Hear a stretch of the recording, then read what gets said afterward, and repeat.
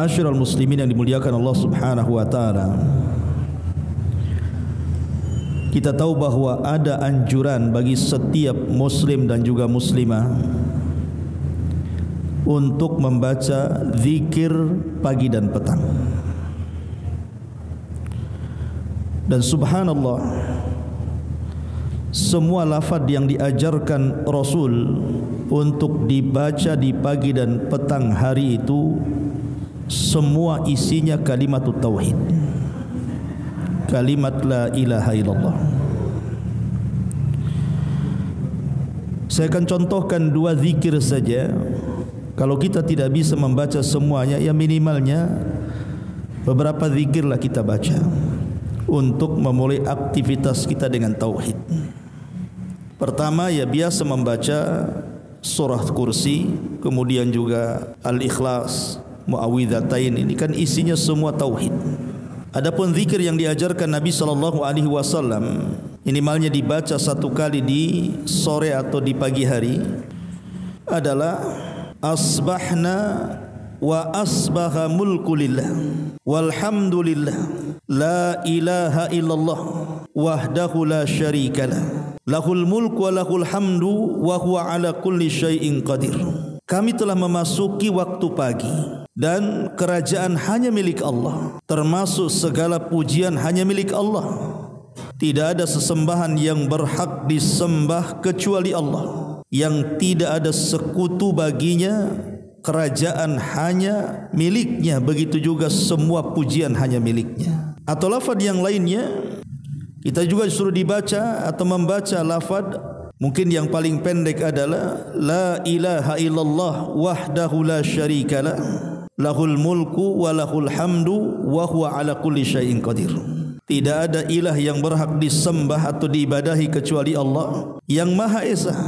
Tidak ada sekutu baginya, baginya kerajaan dan baginya segala pujian dan dia maha kuasa atas segala sesuatu dan banyak beberapa lafaz yang diajarkan Nabi sallallahu alaihi wasallam untuk kita baca di pagi atau di petang hari yang ingin saya jelaskan apa sih faedahnya itu masalahnya ketika kita tidak tahu faedah membaca zikir pagi petang itu akhirnya malas Masyurul muslimin yang dimuliakan Allah Azza wa Jalla hakikatnya ketika seseorang memulai harinya dengan membaca beberapa zikir dari zikir-zikir pagi ataupun mengakhiri aktivitasnya di sore hari dengan beberapa zikir yang diajarkan Rasul.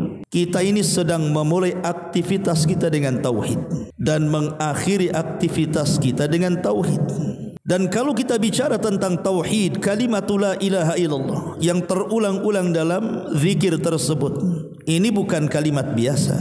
Kalimat tauhid itu kalimat yang sangat agung. Apa sih keagungannya? Kalau kita sedikit bercerita tentang kisah di dalam Al-Quran, kisah tentang Fir'aun yang disebutkan dalam surah Yunus ayat 90 itu. Di mana Allah Subhanahu wa taala mengatakan wajawazna bi bani Israil al-bahra fa'atba'ahum fir'aunu wa junuduhu baghyan wa adwan hatta idza adrakahu al-gharaqu qala amantu annahu la ilaha illa alladhi amanat bihi banu Israel wa ana minal muslimin dan ketika kami menyeberangkan Bani Israel melintasi lautan lalu mereka diikuti oleh Fir'aun dan seluruh para tentaranya karena hendak menganiaya menindas dan memusuhi orang-orang yang dibawa Musa Bani Israel hingga bila Fir'aun itu telah hampir tenggelam di tengah lautan tiba-tiba dia berkata saya percaya bahawa tidak ada sesembahan yang berhak disembah kecuali Allah yang telah dipercaya oleh Bani Israel dan saya termasuk orang-orang yang berserah diri. Kalau seandainya Fir'aun ini mengucapkan kalimat la ilaha illallah sebelum dia menyeberang lautan tentu Fir'aun tidak akan masuk ke dalam neraka. Tapi karena dia mengucapkan kalimat itu ketika nyawa ditenggorokan di kerongkongan maknanya tobatnya ditolak oleh Allah Subhanahu wa taala maka Fir'aun berhak masuk neraka Ibnu Abbas radhiyallahu anhu menjelaskan sebenarnya ketika Fir'aun itu hendak mengucap kalimat lebih daripada itu Jibril datang Kemudian Jibril mengambil tanah dan dimasukkan ke dalam mulutnya. Sehingga Allah Subhanahu wa taala katakan dalam ayat Yunus 91-nya, "Al-an wa qad asaita qablu wa kuntum minal mufsidin." Apakah sekarang baru kau percaya wahai Firaun? Baru kau sadar dan bertobat? Pada sesungguhnya kamu telah durhaka sejak dulu dan kamu termasuk orang-orang yang membawa kerusakan. Apa sekarang engkau hendak mengucapkan kalimat itu? Maka kemudian Jibril menyumpel mulut Fir'aun karena dikhawatirkan rahmat Allah akan datang kepada Fir'aun. Karena Fir'aun itu manusia yang paling jahat. Sehingga Jibril menyumpel mulutnya. Sebaliknya daripada Fir'aun, tukang-tukang sihirnya. Tukang-tukang sihir Fir'aun yang dari kecil sampai dia menjadi ajudan Fir'aun itu tidak pernah mengucapkan kalimat tauhid. Karena namanya sihir itu pasti bergelut dengan syaitan lawan daripada tauhid. Ketika berduel dengan Nabi Musa, mereka melihat mukjizat Nabi Musa yang mereka pandang itu bukan sihir, tapi itu kekuatan Allah. Akhirnya kemudian mereka pun sujud kepada Allah Subhanahu wa taala dan bertobat dari perbuatan sihirnya dan pengabdiannya kepada Firaun dan beriman kepada Rabbnya Musa. Kemudian Firaun marah dan mengatakan sebagaimana dalam surah Toha 71 amantum lahu qabla an adzana lakum. Amantum lahu qabla an adzana lakum. Eh tukang-tukang sihirku apakah kalian akan beriman kepada Musa sebelum aku izinkan innahu lakabirukum alladhi allamakumus sihra Ketahuilah bahawa ia maksudnya Musa adalah pemimpin kalian yang telah mengajarkan kalian sihir. Fala uqatti anna aydiyakum wa arjulakum min khilaf wala usallibannakum fi judu'in nakhli wala ta'lamunna ayyuna ashaddu adzaban wa abqa kata Firaun karena engkau sudah membelot dari aku kata Firaun saya akan potong tangan dan kaki kalian secara bersilang kemudian kalian akan aku salib di pangkal-pangkal pohon kurma dan sesungguhnya kalian akan mengetahui siapa di antara kita yang lebih kejam, lebih pedih siksaannya. Tapi tukang-tukang sihir Firaun mereka mengatakan dalam surah Al-A'raf ayat 126-nya, "Wa ma minna illa an amana bi ayati rabbina lamma ja'atna rabbana afrig alaina sabran wa tawaffana muslimin." Kata tukang-tukang sihir mereka mengatakan dan engkau tidak melakukan balas dendam kepada kami melainkan karena kami beriman kepada ayat-ayat Tuhan kami ketika ayat-ayat itu datang kepada kami. Kemudian mereka berdoa kepada Allah, Ya Allah, kami limpah, limpahkanlah kepada kami kesabaran dan matikanlah kami dalam kondisi berserah diri alias muslim. Akhirnya mereka pun sebelum dibunuh oleh Fir'aun Mereka mengucapkan kalimat La ilaha illallah Kata Abdullah ibn Abbas radhiyallahu anhu Lihat tukang-tukang sihir itu Di pagi hari Mereka tukang-tukang sihir yang jahat Di sore hari mereka menjadi para syuhada yang baik Subhanallah Kalimat La ilaha illallah membalik semuanya kalau seandainya tukang-tukang sihir ini mengikuti Fir'aun, tentu mereka tidak akan masuk surga.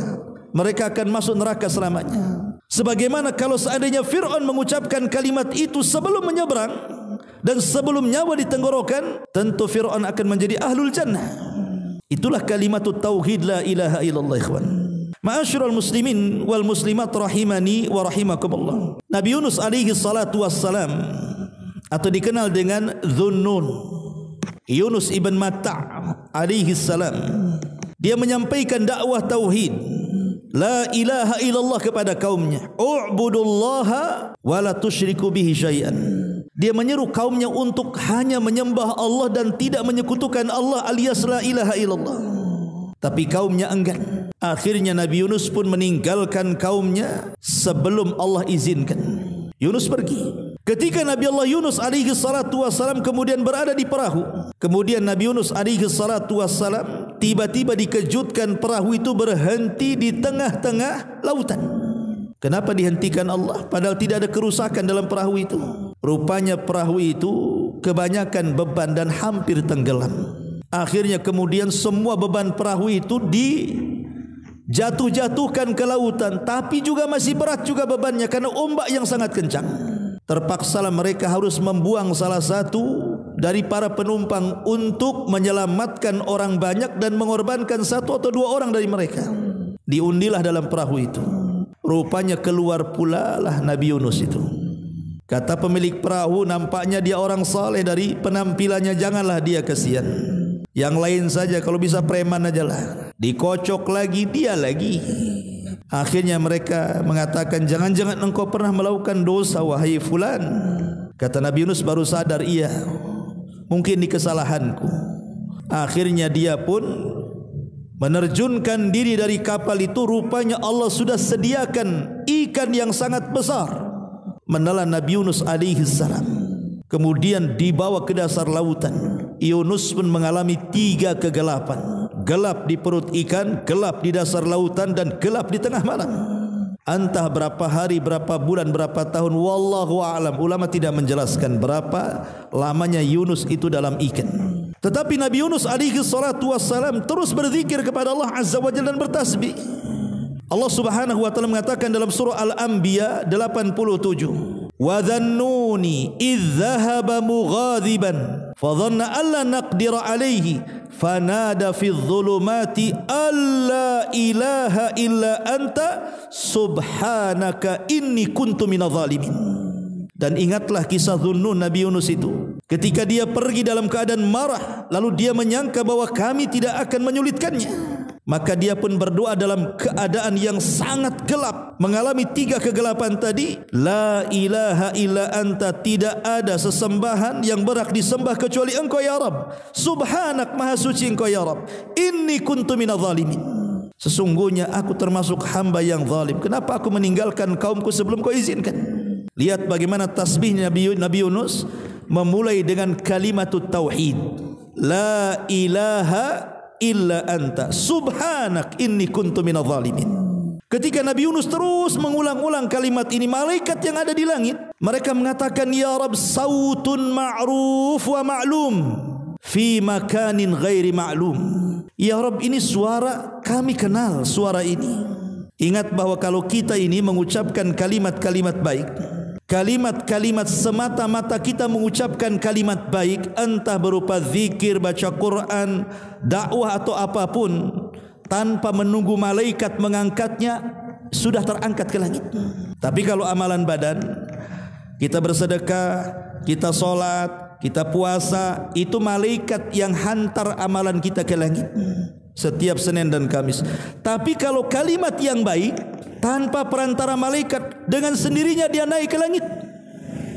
Makanya malaikat mengatakan di hadapan Rob ya Rob ini kalimat ma'ruf dari hamba yang ma'ruf tapi tempatnya tidak tahu di mana dia. Jadi malaikat itu hanya mencatat orang-orang yang ada di dasar bumi saja karena dia tidak mengetahui bahwa Yunus itu ada di dasar lautan.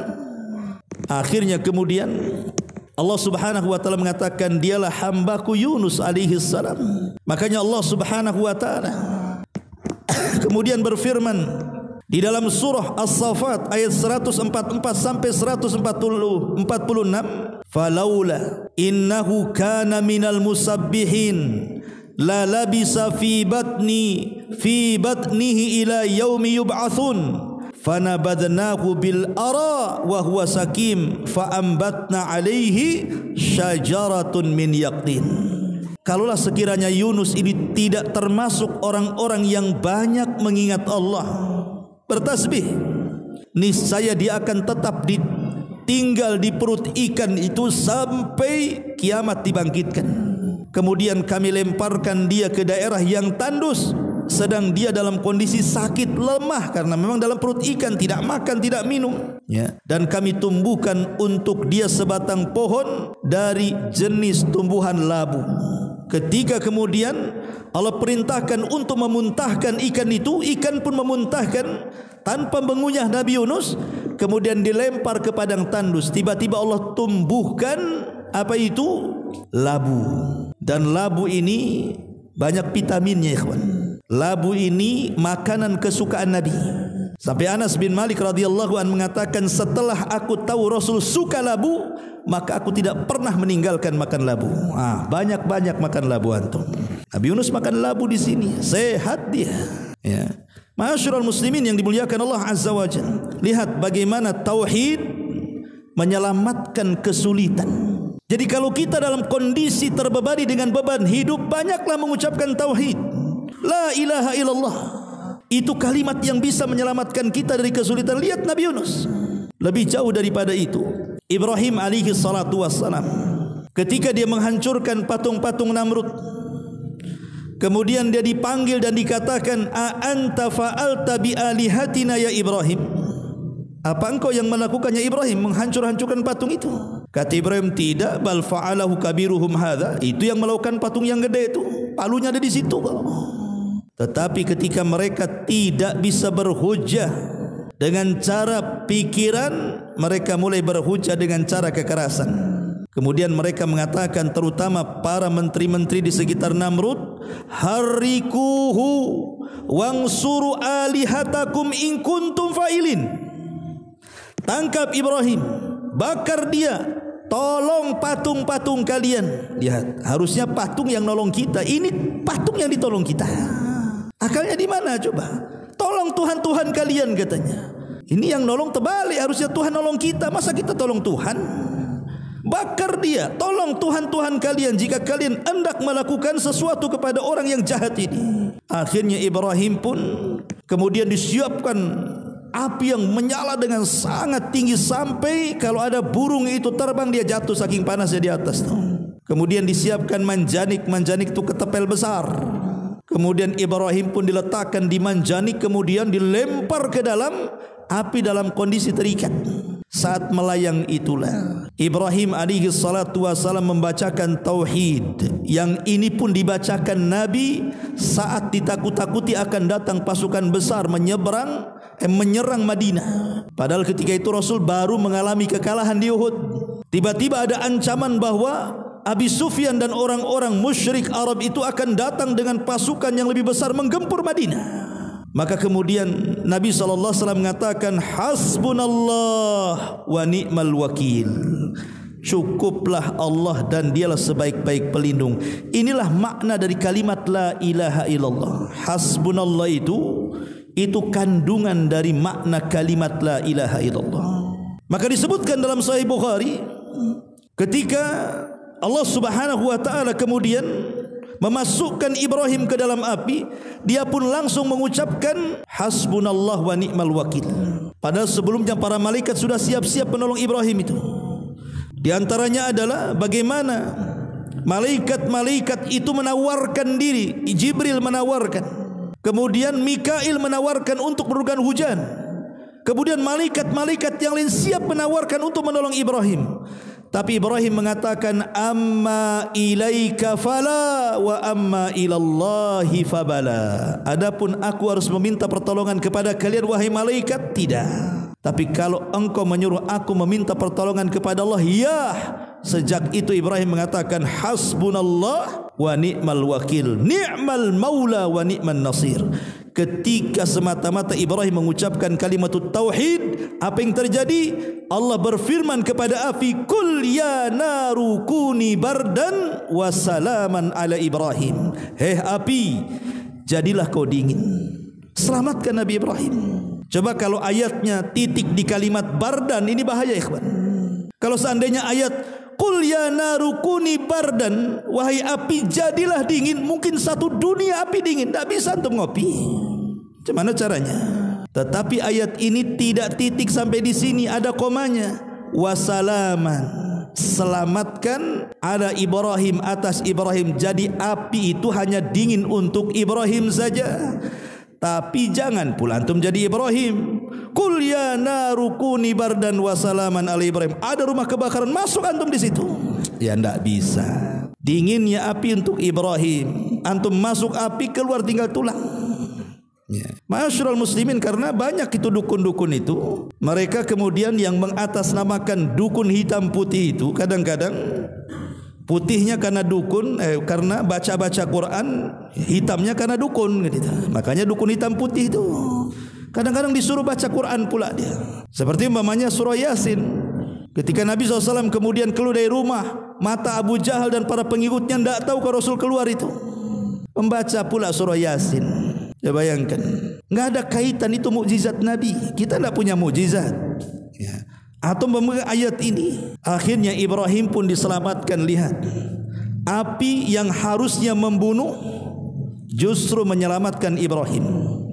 Air yang harusnya membuat kehidupan justru membuat mati Firaun. Terbalik, kawan. Air itu kan membawa kehidupan. Kami jadikan air itu segala sesuatu bisa hidup, tapi membinasakan Firaun dengan air. Api yang harusnya membakar dan membunuh manusia justru menyelamatkan Ibrahim alaihi salatu wassalam.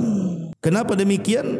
Karena kalimat tauhid yang diucapkan Ibrahim alaihi salatu wassalam. Kemudian siapa lagi Nabi Ayub alaihi salatu wassalam diberikan berbagai macam ujian beban hidup yang mungkin kalau kita di posisinya mati berdiri kita dibuatnya. Hartanya ludas, tidak tersisa. Anak-anaknya semua mati, tidak tersisa. Tidak cukup sampai di situ. Bulian manusia terjadi. Karena Ibrahim kemudian mendapatkan penyakit yang belum ada dalam kaumnya. Kata Imam Ibn Qazir penyakitnya Nabi Ayub afan Ibrahim. Nabi Ayub itu dari kepala sampai kaki penuh dengan benjol isinya nanah dengan darah dan gatal. Gimana kehidupan? Orang pun menjauh, membuli. Terpaksalah Ibrahim harus hidup apa Ayub harus hidup dengan istrinya di perbatasan desa karena tidak mungkin bergaul dengan manusia. Tapi Nabi Ayub bersabar. Yang tidak sabar istrinya. Biasa istri tak sabar. Biasanya suami sabar. Istri yang tak sabar kan? Atau antum yang tak sabar pula. Ya. Jadi istrinya mengatakan kepada Nabi Ayub, "Wahai suamiku, engkau kan seorang nabi. Berdoalah kepada Allah." Kalau engkau berdoa kepada Allah fa innaka sayastajibulak. Fa innahu sayastajibulak. Pasti dia Allah mengabulkan doa-doamu. Kau seorang nabi. Berdoalah kepada Allah. Minimalnya penyakit pula disembuhkan. Tapi Nabi Ayub mengatakan kepada istrinya, saya mau tanya sama kamu berapalah kita ini diberikan nikmat. Kata istrinya, sekitar 70 tahun. Sekarang berapa waktu Allah memberikan ujian kepada kita? Baru 18 tahun. Lebih panjang mana nikmat yang diberi ataukah ujian yang ditimpakan? Lebih banyak nikmat.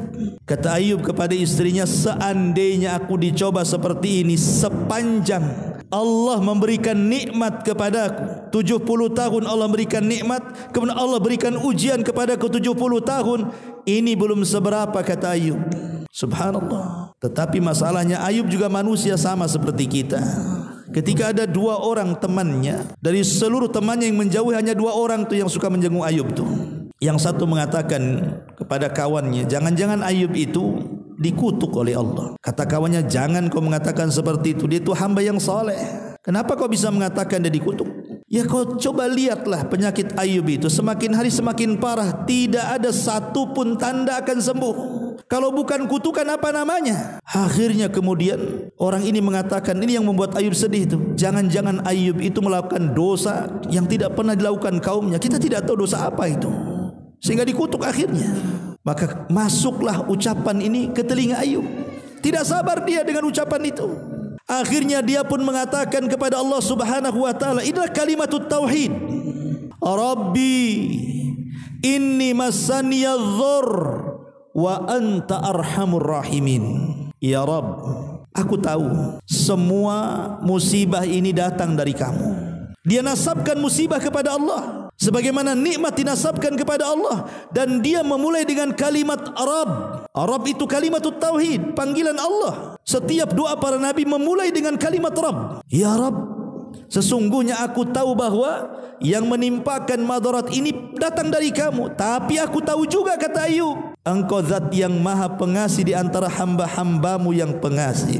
Artinya tidaklah engkau menguji diriku wahai Allah. Kecuali karena sayangmu kepadaku. Makanya Nabi SAW mengatakan apa?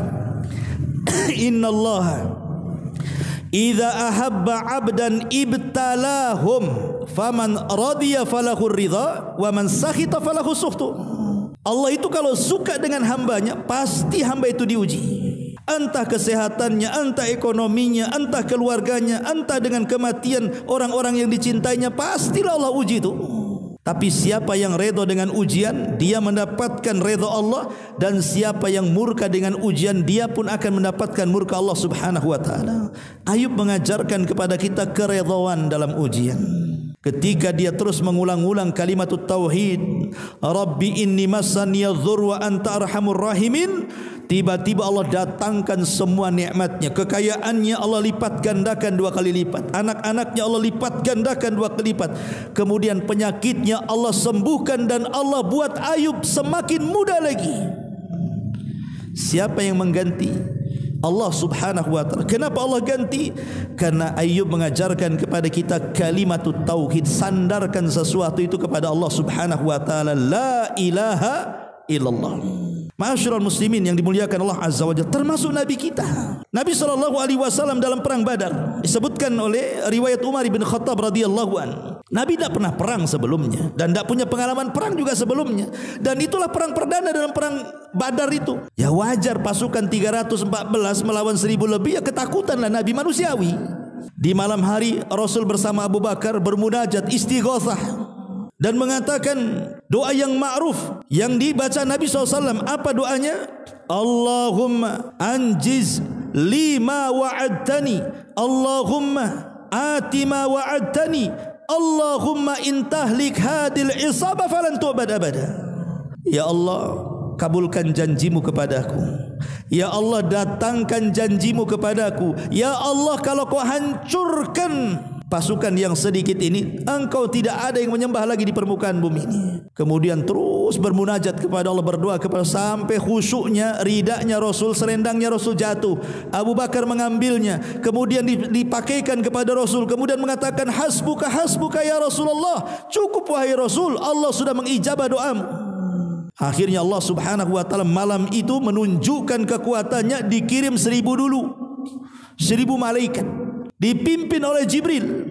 Ketika itu Rasul mengatakan kepada Abu Bakar, "Abshir ya Abu Bakrin." Berbahagialah ya Bakar. Allah sudah kirim dan Allah perlihatkan seribu malaikat kepadaku. Ketika keesokannya perang Allah tambah lagi dua ribu jadi tiga ribu. Ketika perang berkecamuk Allah tambah lagi dua ribu jadi lima ribu. Lima ribu malaikat terlibat dalam perang Badar dipimpin oleh Jibril menunggang kuda Haizum namanya. Kudanya Jibril itu namanya Haizum. Kaidum haizum. Majulah wahai haizum kata Jibril sambil menghunus pedang. Maka Allah menangkan dalam perang Badar ini. Lihat bagaimana dahsyatnya kalimat tauhid. Makanya Nabi SAW kalau ada kesulitan yang tidak bisa keluar dari situ. Dan ini pun antum bacalah. Antum harus yakin. Jangan coba-coba. Setiap doa itu tidak boleh coba-coba. Tidak boleh ada keraguan. Harus yakin. Kalau coba-coba saja ya tidak yakin antum dengan kalimat tauhid. Harus yakin. Apa kata Nabi sallallahu alaihi wasallam dalam sebuah hadis yang dikeluarkan oleh Imam Muslim dan Bukhari dari Ibnu Abbas radhiyallahu anhuma kana Nabi sallallahu alaihi wasallam yad'u indal qarabi. Rasul senantiasa berdoa di saat genting yang luar biasa. Apa doa Rasul? La ilaha illallahil azim Al-Halim La ilaha illallah Rabbus samawati wal ardi Wa Rabbul arshil azim. Ini doanya Nabi. La ilaha illallah Al-azimul halim. La ilaha illallah Rabbus samawati Wa Rabbul ardi. La ilaha illallah Rabbul arshil azim. Atau kalau disingkat la ilaha illallah al-azimul halim. La ilaha illallah rabbus samawati wal ar wa rabbul arshil azim. Pendek ya baca doa ini ketika kita lagi sulit lagi ada masalah ulang-ulang doa ini saya yakin setiap masalah pasti diuraikan tapi harus yakin kita ini punya Tuhan yang yakin jangan pula berdoa dengan keraguan Ah coba-coba kan kata ustaz katanya begitu. Enggak bisa coba-coba. Antum main coba-coba. Ibadah itu bukan coba-coba. Ibadah itu harus penuh dengan keyakinan karena Rabb yang kita sembah yakin, maka beribadahlah kepada Allah dengan cara yakin dan doa bagian daripada ibadah.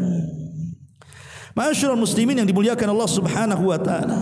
Kalimat tauhid la ilaha illallah. Disebutkan dalam kitab Al-Muwatta li Imam Malik dari Talha ibn Ubaidillah ibn Quraiz Nabi sallallahu alaihi wasallam mengatakan afdalud du'a du'a yaum arafah wa afdalu ma qultu ana.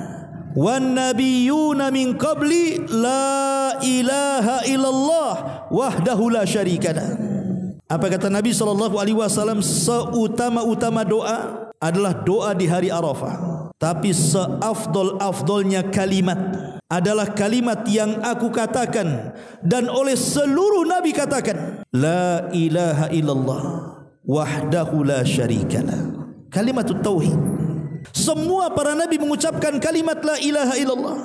Karena rasul yang mengatakan seutama-utama kalimat adalah kalimat yang aku ucapkan dan seluruh para nabi ucapkan. La ilaha illallah wahdahu la syarikalah Nabi Musa alaihi salatu wassalam datang kepada Allah karena dia kalimur rahman nabi yang suka berdialog dengan Allah. Apa kata Musa? Ya rab Alimni du'aan. Adhkuruka wa ad'uka bi. Ya Rab ajarkanlah Satu kalimat doa yang aku bisa berzikir dan berdoa dengan kalimat itu. Maka Allah mengatakan Ya Musa kul la ilaha illallah. Wahai Musa katakan la ilaha illallah. Kalimat tauhid. Kata Nabi Musa Ya Rab semua manusia mengucapkan kalimat itu Yang lain saja Maka Allah mengatakan ya Musa, "Lau anna samawati sab'i wa amirahunna wal aradina sab' fi kifatin wala ilaha illallah fi kifatin malat bihinna la ilaha illallah. Hei Musa kalau seandainya langit dan bumi diletakkan di satu neraca timbangan la ilaha illallah di neraca satunya maka la ilaha illallah lebih berat dibandingkan langit dan bumi. Lihat ketika kita mengucapkan kalimat la ilaha illallah kalimat ini adalah kalimat yang bisa memberatkan lebih berat dibandingkan langit dan bumi. Ini bukan main-main. Jadi kalau antum memulai di pagi hari dengan zikir pagi dan petang, itu sama dengan memulai dengan kalimat tauhid dan antum sudah mengucapkan kalimat yang diucap oleh seluruh manusia, bahkan seluruh alam semesta, bahkan lebih berat timbangannya dibandingkan langit dan bumi. Jadi jangan remehkan tu kalimat zikir pagi dan petang itu. Karena isinya tauhid masalahnya. Makanya kenapa tauhid ini adalah tiket kita masuk ke dalam Islam dan tiket kita masuk ke dalam surga. Kalau seandainya kita ini puasa, kita ini zakat, kita ini haji, kita solat, tapi tidak mengucapkan kalimat la ilaha illallah, semua amalan itu ditolak oleh Allah Subhanahu wa taala. Karena tiket masuk Islam itu adalah syahadat ini, dua kalimat syahadat. Walaupun antum semua infakkan seperti Abu Bakar, diinfakkan semua hartamu. Solat tiap malam, pagi, petang, siang, malam solat. Puasa tiap hari, puasa mutlak, haji bolak balik. Tapi kalau tidak mengucapkan kalimat la ilaha percuma itu semua. Usairim adalah seorang sahabat yang ketika Sa'd bin Mu'adz Sa'd bin Mu'adz ini pemimpin kabilah Aus Sa'd bin Mu'ad ini ketika dia masuk Islam di tangan Musa bin Umar maka dia perintahkan satu kabilah untuk masuk Islam. Kata Sa'ad kalau kalian tidak masuk Islam jangan satu atap denganku. Akhirnya satu kabilah Aus masuk Islam. Yang belakangan disebut Ansor karena Ansor itu dari gabungan dua kabilah. Satu Khajraj satu Aus ketika semua masuk Islam jadilah mereka orang-orang Ansor kalau yang dari Mekah disebut Muhajirin kalau Madinah disebut Ansor lah suku Aus ini semua masuk Islam di tangan Sa'ad ini. Sa'ad ibn Mu'ad ini. Kalau pemimpin Aus Sa'ad ibn Ubadah. Sama-sama Sa'ad namanya pemimpin Aus dan Khajraz ini. Dua Sa'ad lah bahasanya. Lah pemimpin Aus ini Sa'ad ibn Mu'ad ini mengatakan kepada kaumnya, masuk Islamlah kalian. Kalau tidak jangan satu atap. Dipaksa masuk Islam. Satu kabilah masuk Islam. Kecuali satu orang. Namanya Usairim. Tak mau dia. Ketika perang Uhud, semua kerabat-kerabatnya satu suku ikut perang membela Nabi karena mereka sudah Muslim. Usairim datang kepada Nabi wasallam, "Ya Rasulullah, izinkan aku perang. Aku ingin membela kabilahku." Oh, enggak bisa. Kabilahmu Muslim kau kafir. Kau tidak bisa. Tidak bisa terlibat perang. Lalu apa yang menjadikan aku supaya aku bisa menjadi orang-orang yang dilibatkan dalam perang sebagaimana sanak saudaraku ikut terlibat dalam perang? Kata Nabi SAW, Kul La ilaha illallah wa anni rasulullah. Katakan la ilaha illallah dan saya adalah Rasulullah. Maka dia pun akhirnya karena ingin ikut perang, dia pun mengucapkan dua kalimat syahadat. Ashhadu an la ilaha illallah wa ashhadu anna Muhammad Rasul. Akhirnya terlibat perang. Perang Uhud. Perang Uhud kan kalah kaum muslimin. Ketika Nabi sallallahu alaihi wasallam melihat kekalahan kaum muslimin dia sedih. Dia mencari jasad-jasad orang yang mati. Rupanya ada Usairim mati. Kemudian Rasul mengatakan kepada para sahabatnya tahukah kalian siapa orang itu? Dialah Usairim. Amalannya sedikit tapi pahalanya besar. Abu Hurairah mengatakan di hadapan kawan-kawannya, maukah kuhabarkan kepada kalian seseorang yang tidak pernah sujud tapi masuk surga paling tinggi? katanya. Kata sahabat yang lain, mana mana ada wahai Abu Hurairah, enggak pernah sujud kau bisa masuk surga yang paling tinggi. Kata Abu Hurairah, ada. Dialah Usairim. Seandainya Usairim ini tidak mengucapkan kalimat tauhid, kemudian masuk ke dalam perang, dipastikan masuk neraka. Tapi karena dia mengucapkan kalimat tauhid, kemudian dia masuk dalam pertempuran, kemudian dia mati syahid, apa kata Rasul? Bidadari sudah menanti dia katanya dan berebut untuk mengambil rohnya. Subhanallah.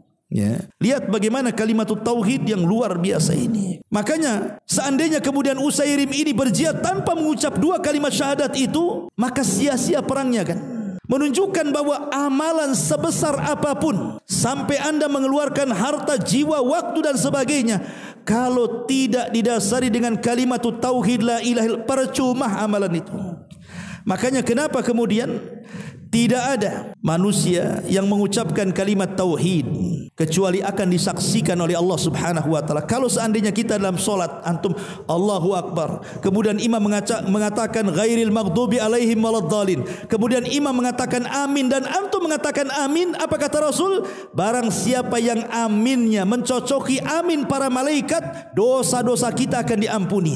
Ini ucapan amin. Kalau mencocoki ucapan aminnya para malaikat diampuni dosa kita. Macam mana dengan ucapan la ilaha illallah? Yang Allah katakan syahidallahu annahu la ilaha illallah wal malaikatu wa ulul ilmi qa'iman bil qisti la ilaha illahu huwal azizul hakim kata Allah. Syahidallahu annahu la ilaha illahu. Allah bersaksi kepada dirinya bahwa tidak ada sesembahan yang berhak disembah kecuali dirinya. Begitu juga malaikat bersaksi tentang la ilaha illallah. Begitu juga para ulama bersaksi tentang la ilaha illallah. Makanya siapa yang mengucapkan kalimat la ilaha illallah maka dia termasuk ahli ilmu. Karena Allah yang mengatakan fa'lam annahu la ilaha illahu wastaghfir li dzambik. Lihat bagaimana Allah mendahulukan kalimat tauhid sebelum orang itu istighfar. Kalau seseorang beristighfar, ya Allah ampuni dosa aku, aku sudah banyak dosanya, aku sudah banyak maksiatnya. Ya Allah ampuni aku, astagfirullahaladzim. Diampuni dosanya? Tidak diampuni dosanya sampai dia mengucapkan kalimat la ilaha illallah. Karena Allah mendahulukan la ilaha illallah fa'lam, ketahuilah annahu la ilaha illallah annahu la ilaha illahu bahwa Allah itu sesembahan yang tidak berhak disembah kecuali dia baru Allah katakan wastaghfir li dzambik baru kau minta ampun. Berarti tauhid dulu baru tobat makanya kalau kita melihat lafaz daripada sayyidul istighfar perhatikan sayyidul istighfar itu penghulunya istighfar Allahumma anta rabbi la ilaha illa anta khalaqtani wa ana abduk wa ana ala ahdik wa wa'dika mastata'tu wa a'udzu bika min syarri ma sana'tu abu ulaka bi ni'matika alai wa abu ulaka bi dhanbi faghfir li innahu la yaghfiru dhunuba illa anta. Allah dahulukan tauhid baru kemudian di akhir faghfirli ya Allah ampuni. Tauhid dulu baru minta ampun gitu maksudnya kalau orang tidak bertauhid walaupun banyak dosanya minta ampun tidak akan diterima ampunannya sampai dia mentauhidkan Allah Azza wa Jalla. Sampai dia mentauhidkan Allah. Orang banyak dosa dia berzina, dia berjudi, dia maksiat macam-macam, tapi dia datang ke dukun tidak mentauhidkan Allah. Percuma. Karena dia tidak mengamalkan kalimat la ilaha illallah. Ma'asyiral muslimin yang dimuliakan Allah Subhanahu wa taala. Usama ibn Zaid, Usama ibnu Zaid itu cucu angkat Nabi karena dia putra daripada apa namanya uh, Zaid ibn Harithah. Rasul itu ketika meninggal anak laki-lakinya sedih. Akhirnya Khadijah membeli seorang budak namanya Zaid ibn Harithah dihadiahkan kepada Rasul. Jadilah anak angkat untuk menghibur karena anak laki-laki Rasul meninggal dunia. Jadilah anak angkat kesayangan Nabi. Zaid punya anak namanya Usama dan itu cucu angkat kesayangan Nabi. Usama disuruh oleh Nabi sallallahu alaihi wasallam berperang dalam sebuah syariah pasukan khusus yang tidak dipimpin Nabi. Menang dalam peperangan itu. Ketika dalam peperangan itu sudah menang, dia dan seorang ansor mengejar orang musyrik. Dikejar orang musyrik sama dia. Rupanya terkejar karena kelelahan orang musyrik ini. Pertama orang ansor datang membawa pedang. Dan ketika hendak dihunuskan, Tiba-tiba dia mengucapkan kalimat tauhid la ilaha illallah Muhammadur Rasulullah katanya. Tak jadi disarungkan kembali. Kemudian pergi. Kemudian Usama ibn Zaid heran kenapa tidak ditebas. Didatangi sama dia. Kemudian ketika dia menghunuskan pedang dia mengucapkan kalimat itu lagi. La ilaha illallah Muhammadur Rasulullah. Ditebas juga sama Usama itu. Mati dia. Habar ini sampai kepada Rasul. Marah Rasul kepada Usama dan mengatakan sini kau Usama. Aku tahu tamang qala la ilaha illallah. Kau bunuh orang yang sudah mengucap kalimat la ilaha illallah. Usama membela dirinya dan mengatakan Rasul ini dalam peperangan. Bisa saja dia tipu-tipu. Dia takut pedangku sehingga dia mengucapkan kalimat tauhid bukan karena betul dari hatinya. Maka Rasul mengatakan afala syaqaqta an? Apakah engkau sudah membelah dadanya wahai Usama? Sehingga kau tahu isi hatinya katanya. Dalam riwayat Rasul sampai mengulang-ulang kalimat ya Usama kaifa bila ilaha illallah idza ja'atka yaumul qiyamah? Eh Usama apa pertanggungjawabanmu tentang kalimat yang dibaca orang itu? Kalau seandainya la ilaha datang kepada Allah dan mengatakan ya Rabb orang ini membunuh orang yang mengucapkan kalimat ini katanya Diulang-ulang kalimat itu sampai Usama mengatakan laitahu aslam tu yaumaidan. Coba kalau aku baru masuk Islam gak dimari kayak gini katanya. Karena orang yang sudah lama Islam ya wajarlah dikerasi ya. Kalau mualaf kan dilembuti itu. Makanya dia mengatakan, "Aduh, coba aku baru masuk Islam ini Rasul enggak semurka ini sama aku," katanya. Ya. Lihat bagaimana keutamaan la ilaha illallah. Sampai Hudzaifatul bin Yaman, beliau mengatakan nanti di akhir zaman, di akhir, walaupun sekarang sudah akhir zaman, tapi nanti di akhir-akhir Ketika Quran akan diangkat dalam satu malam, antum baca sudah tidak ada tulisan. Antum keluarkan hafalan, hilang hafalan. Islam tinggal hanya namanya. Orang tidak mengenal apa itu solat, apa itu puasa, apa itu zakat. Enggak kenal apa pun. Mereka hanya mengenal kalimat la ilaha illallah. Itu pun yang mengucapkan bukan yang muda-muda yang sudah tua-tua. Mereka menghafal kalimat itu dari nenek moyangnya bukan karena paham maknanya. Kemudian Hudzaifah ditanya oleh sahabat yang bertanya soal atunjihi kalimatul la apakah bisa menyelamatkan kalimat la yang mereka baca padahal mereka tidak paham maknanya? Maka Hudzaifah bin Yaman mengatakan ya tetap akan bermanfaat kepada mereka. Minimalnya kalau mereka masuk neraka mereka tidak dikekalkan di dalamnya. Karena la ilaha illallah satu-satunya tiket masuk surga Ya. Masyurul muslimin maka jangan pernah remehkan zikir pagi dan petang itu memulai dengan tauhid dan mengakhiri dengan tauhid. Ini bukan perkara penting zikir ini. Ya, belum lagi kemudian kalimat tauhid ini bisa kemudian seseorang itu terhindar dari syaitan. Setan tidak mungkin dekat-dekat sama kita. Karena yang membuka kuncinya sendiri setan sendiri yang ngomong gitu. Jadi ketika Abu Hurairah menjaga zakat mal ketika Ramadan dicuri pula tuh makanan zakat itu. Ditangkap malam pertama. Kemudian dilepas alasannya karena dia orang miskin anaknya butuh makan. Malam kedua eh mencuri lagi. Kena tangkap lagi. Kemudian akan dilaporkan kepada Rasul. Kemudian dia ngeles lagi. Anakku lagi lapar katanya. Eh malam ketiga menyuri lagi kata Bro. Tidak bisa kau tiap malam tuh nyuri makan tuh Kau akan ku melaporkan dan ku bawa kepada Nabi. Tiba-tiba dia mengatakan Abu Hurairah, lepaskan aku. Maukah ku ajarkan kepadamu apabila engkau baca ayat ini sebelum tidurmu, kau tidak akan didekati setan katanya. Apa itu? Kemudian orang ini mengucapkan kalimat ayat kursi. Ayat kursi itu kalimat tauhid. Karena dimulai dengan la ilaha illallah kan? Allahu la ilaha illa huwal hayyul qayyum la ta'khudhuhu sinatul akhiril ayat.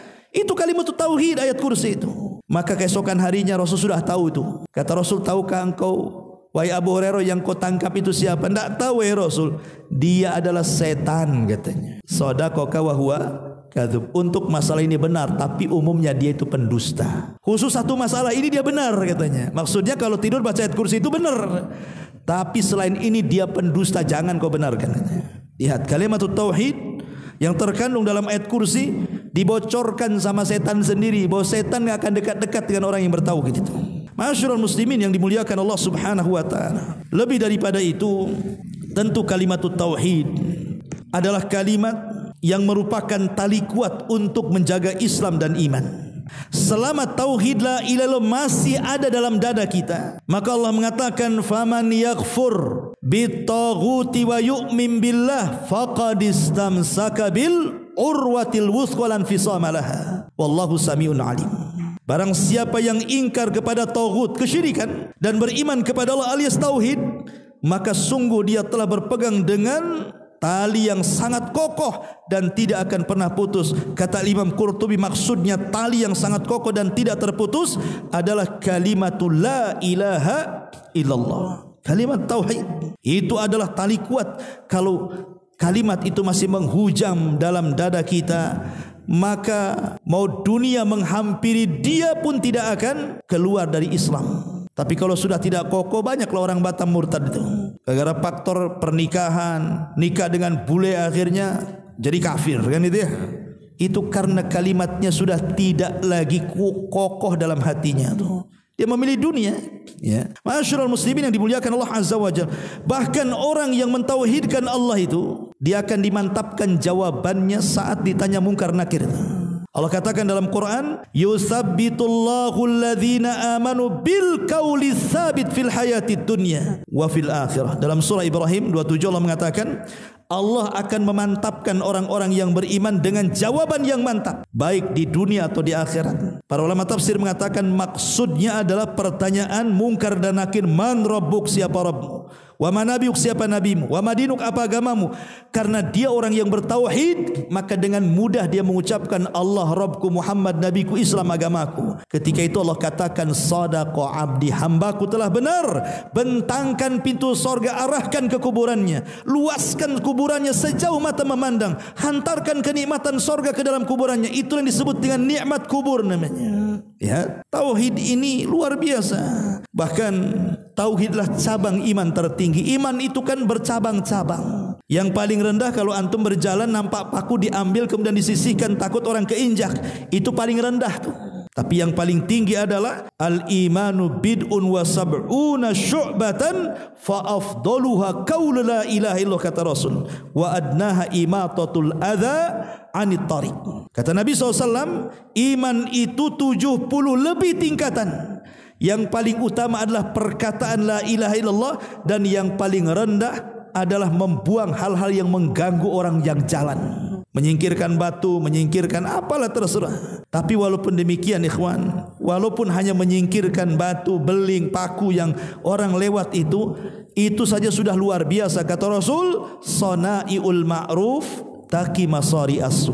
Bahwa perbuatan-perbuatan baik sekecil apa pun itu bisa menjadikan kita selamat dari murka Allah Subhanahu wa taala. Maka jangan bakhil untuk melakukan kebaikan walaupun sekecil apa pun. Bahkan lebih daripada itu.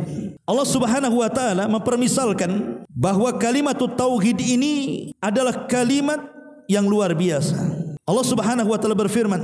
Ilaihi yas'adul kalimut tayyib wal amalu salihu yarfa'u. Ilaihi yas'adul kalimut tayyib wal amalus salihu yarfa'uhu. Kepada Allah lah ucapan-ucapan yang baik itu naik dan amalan soleh terangkat. Tadi saya sudah katakan di mukadimah kalimat uh, ilahi yas'ad. Yas'ad itu diambil dari sa'ida yas'adu. Kalau yarfa itu diambil dari rafa'a yarfa'u. Kalau sa'ida yas'adu artinya naik dengan sendirinya kalau rofa ayarfau artinya dinaikkan oleh orang lain sehingga menjadi tinggi. Maksudnya begini, kalau ucapan yang baik itu terangkat dengan sendirinya sampai di hadapan Allah. Tapi kalau amal soleh berbentuk perbuatan itu diangkat para malaikat kemudian dihadapkan kepada Allah. Subhanallah. Ya. Jadi jangan remehkan ucapan yang baik itu. Karena Rasul mengatakan kaulun ma'ruf sadaqatun. Ucapan yang baik itu sedekah. Ya. Apakah itu baca Quran, apakah itu zikir, apakah itu mengajak manusia kepada kebaikan, mencegah dari kemungkaran, ataukah ketika kita bicara memilih diksi dan kata-kata mana yang enak didengar, mana yang halus, mana yang santun. Ini kalimat yang baik tidak harus menunggu malaikat diangkat, dia terangkat sendiri dia dan langsung ke hadapan Allah. Lihat bagaimana tingginya amalan lisan ikhwan. Tapi kalau amalan badan itu malaikat yang naikkan. Ya, jadi banyak-banyaklah kita ini mengucapkan kalimat yang baik dan tidak ada kalimat yang lebih baik dibandingkan kalimat la ilaha afdalu dzikri La ilaha illallah. Seafdal-afdalnya zikir kata Rasul adalah kalimat la ilaha, kalimat tauhid. Makanya kemudian Allah mempermisalkan dalam surah Ibrahim 20 24 itu. Alam tara kaifa daraballahu mathalan kalimatan thayyibatan ka syajaratin thayyibatin asluha thabitun wa far'uha fis sama tu'ti ukulaha kullahinin bi idni rabbiha wa yadribul amsalul amsala linnasi la'allahum tidakkah kamu perhatikan kata Allah bagaimana Allah membuat perumpamaan kalimat yang baik seperti pohon yang baik? Akarnya menancap sampai ke bumi kemudian cabangnya menjulang sampai ke langit. Pohon itu memberikan buah-buahan pada setiap musim. Dengan seizin Tuhannya Allah membuat perumpamaan-perumpamaan itu supaya manusia berfikir maksudnya apa? Kalimat di sini pohon yang baik adalah kalimat tauhid. Adapun akarnya yang menancap diaplikasikan lewat perbuatan dia. Adapun kemudian dahannya menjulang ke langit bahwa kalimat tauhid akan mengangkat semua amalan kita kepada Allah. Kemudian buahnya yang kita makan setiap musim itulah sorga. Itulah kalimat tauhid. Akan mengokohkan jiwa dan akan mengangkat semua amal dan terakhirnya kita masuk ke dalam sorga. Ini permisalan yang luar biasa dari Allah Subhanahu wa taala. Bahkan orang yang meninggal kemudian dia mengucap kalimat tauhid, man qala fi akhir kalamihi la ilaha illallah dakhala al jannah. Siapa yang ucapan kalimat akhirnya la ilaha illallah maka dipastikan masuk sorga. Maka dari situ Rasul mengatakan lakinu mautakum bila ilaha illallah. Talkinkan ejahkan orang yang sedang sakaratul maut dengan kalimat tauhid. Karena itu kalimat yang bisa mengakhiri manusia husnul khatimah.